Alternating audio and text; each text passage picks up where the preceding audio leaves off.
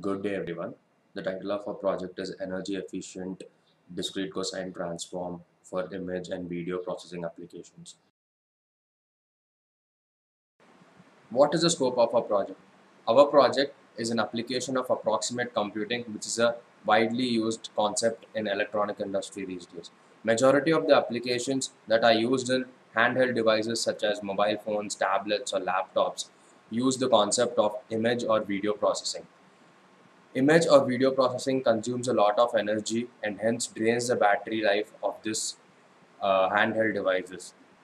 But the point also to be noted over here is that these image or video processing applications are error resilient, which means that a small amount of error can be tolerated in such applications and our human eye, due to its perceptual limitations, will not be able to distinguish between the error and the actual image. So in this project, we propose an approximate VLSI architecture for discrete cosine transform which will save energy hugely without degrading the output visual quality. Thereby it enhances the battery life of such handheld devices.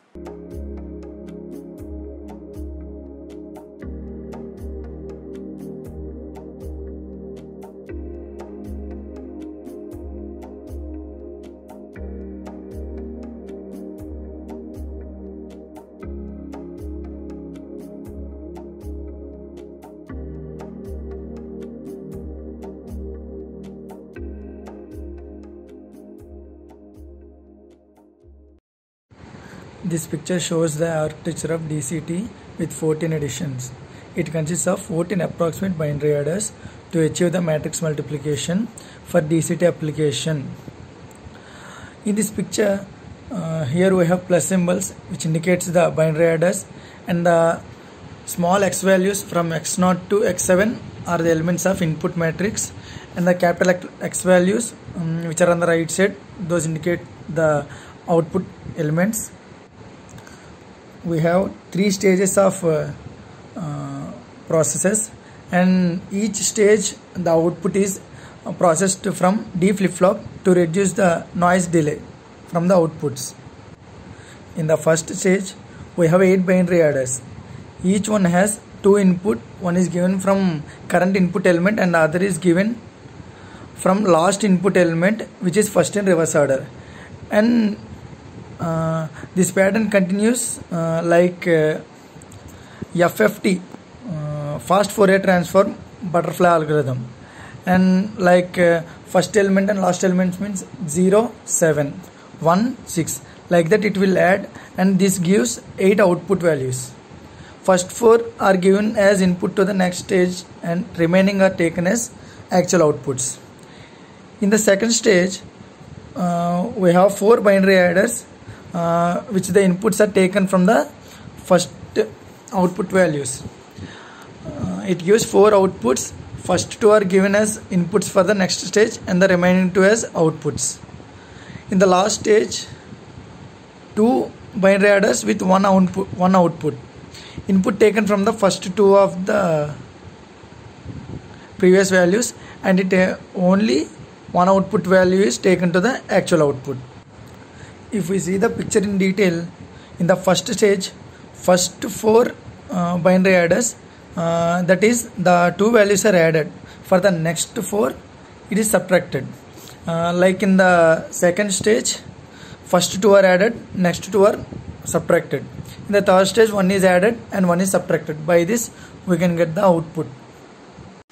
Applications of approximate computing Approximate computing has been used in a variety of domains, whereas the applications are error tolerant such as multimedia processing, machine learning, signal processing, scientific computing, etc. The point is not to provide people with false results, just to save energy or make many systems to work at faults.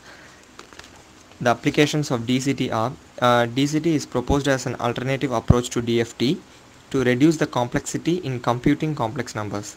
It can be used in DVD players, cable TV, DSB systems, HDTV, graphics or image processing cards, ultrasounds or MRI systems, digital VCRs, set-top box, digital camera. Software used for Verilog coding ISE Design Suite 14.7 for checking output on Xilinx, Xilinx PlanAhead 14.7 For area, power and delay, cadence.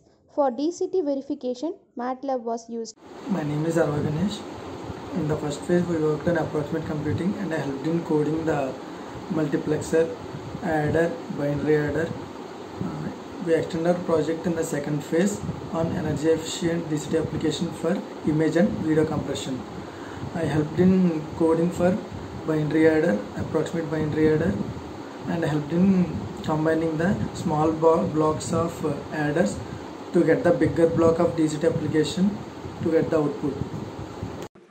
My contribution towards this project was involved in uh, designing approximate ripple carry adder, and uh, then we extended this uh, ripple carry adders application to multipliers and approximate multipliers.